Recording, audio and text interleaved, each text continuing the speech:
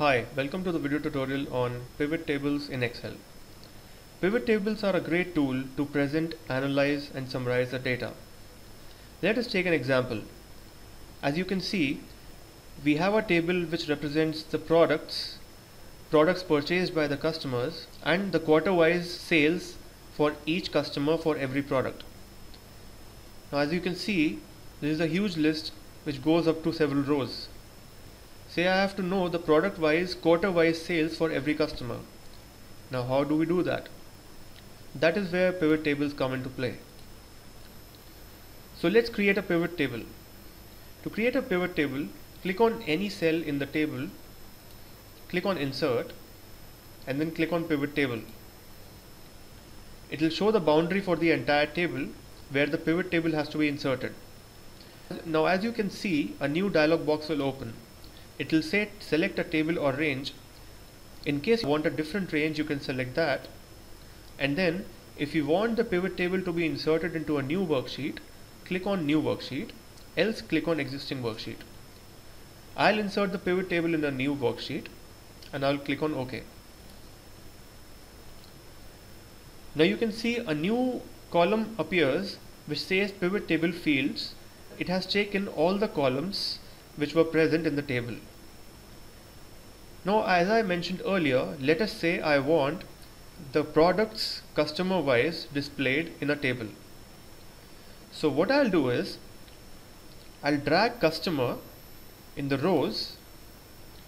Now as you can see we have different customers displayed in every row in this column.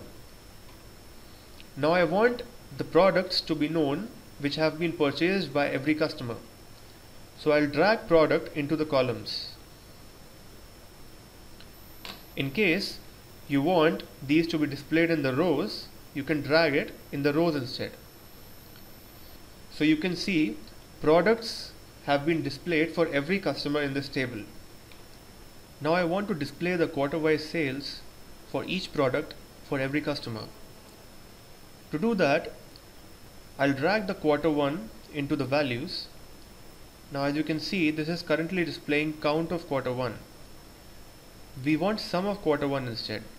So I'll click on the arrow, go to value field settings, click on sum and then click on OK.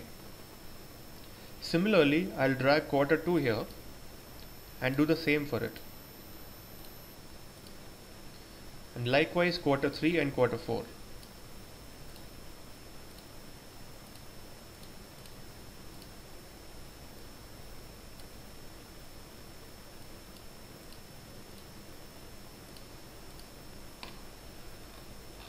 Now you can see how easily pivot table has summarized the entire data for every customer, for every product, for each quarter. Similarly, whatever requirement you have out of the table, you can interpret it and then convert it into a pivot table.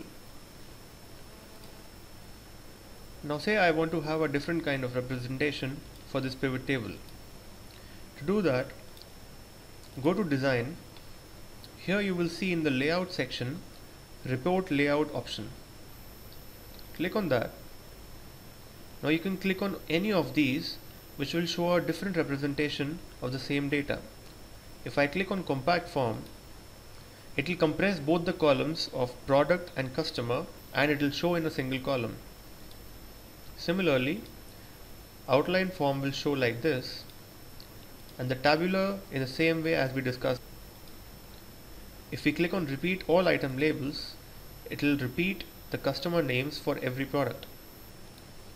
Similarly, I can click on do not repeat item labels. If you do not want grand totals to be displayed, I can click on off for rows and columns. And then, and then it won't display the grand totals for rows and for columns as well. So you can explore all these options in the design and analyze option for pivot table tools and get the most out of your data. So this was video tutorial on pivot tables in Excel. Thanks for watching.